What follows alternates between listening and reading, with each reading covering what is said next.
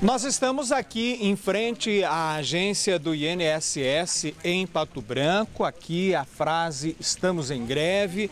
Apesar de uma manhã de quinta-feira chuvosa, muita gente chega presencialmente aqui no INSS e são orientados pelos servidores sobre o quadro de greve geral que está acontecendo no Brasil inteiro. Bem, segundo informações, o Comando de Greve Nacional terá uma audiência sexta-feira, amanhã, com o Ministério da Previdência. Caso não haja um acordo, na próxima semana, os médicos, os peritos também deverão aderir ao movimento grevista. Isto fará com que haja uma paralisação total dos serviços da Previdência no Brasil. Serviços que já estão bastante prejudicados com a greve não é, dos servidores, tanto aqueles que estão em home office como aqueles que estão aqui presencialmente. Eles pedem a reposição salarial de praticamente 20% das perdas dos últimos cinco anos, pedem também melhores condições de trabalho. Na agência do INSS aqui em Pato Branco, o prédio, por exemplo, precisa de reformas urgentes. E dos 30, 36 funcionários originalmente trabalhando aqui, quando esta agência foi inaugurada, temos seis e cinco deles, segundo informações que tenho extraoficiais, já teriam direito à aposentadoria.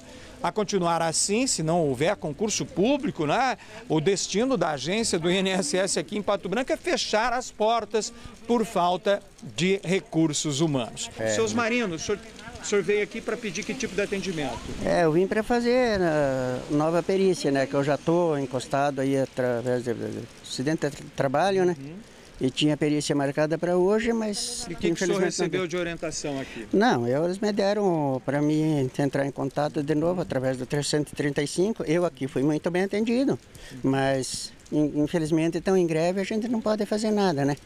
O senhor entende a necessidade de greve dos servidores? Como é que o senhor vê isso como cidadão? Ah, depende da, da parte deles, como eles me informaram, que tá, tá pouca gente para trabalhar, eles também têm os direitos deles, né? Como é que vão atender tanto pessoal aqui nessa, nessa unidade, né?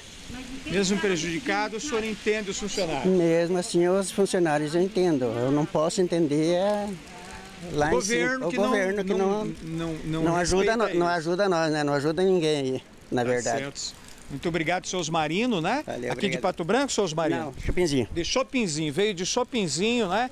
Tinha a perícia marcada, vai voltar para casa, infelizmente. Bom, o problema é que a gente liga o telefone 135 e lá a orientação que se tem é que o atendimento está normal nas agências de previdência no Brasil inteiro. Bom, não é verdade, né? Olha que a gente está tá vendo aqui na prática né, na prática o povo não está sendo atendido. Então a gente espera que o governo federal entre em diálogo com os servidores né, e resolva a pauta de reivindicações dos servidores aí, porque a continuar como está, não demora muito, a agência do INSS em Pato Branco será fechada por falta de servidores.